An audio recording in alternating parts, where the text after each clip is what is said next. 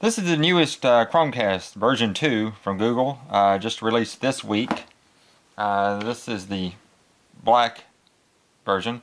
There's also a red and a yellow, uh, which I guess if you're actually going to see your Chromecast wherever you have it set up, that would uh, make it pretty or show it off. But uh, since mine's going to be tucked away in a cabinet of audio equipment behind everything, I opted for the black one um, just because it doesn't really matter to me what color I get and that was the first one to choose. So anyway, um, nice new packaging here. They put some design into and opens on the side pops open and comes right open to the inside of it with your power cable and this uh, happens to be the exact same power cable, uh, USB adapter, and power cable that the Chromecast Audio has, which I previously set up. Um, so you have that. Uh, your instructions sitting set up right for setup are right here, which uh, requires the Chromecast app for your tablet or phone. Uh, you could also set it up with a computer.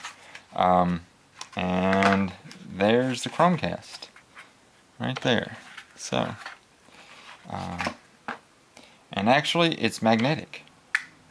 So um, I'm guessing that I can plug this in instead of having the uh, stiff dongle that the other one has, which always seemed to me like it wanted to break off if I stuck it in without an adapter and pressed uh, into my cabinet with the uh, back of the receiver. This one is a little, looks like a better design and it has that uh, magnetic. So I'm guessing that this is magnetic and will stick to the back of the receiver to keep it tucked out of the way from the rest of the cables. And there's your port for the power which I plug this into the back of my receiver where I have a AC port so um, that will that would uh, not be plugged into a wall jack for me and it will be powered on when the receiver is powered on. So that's it.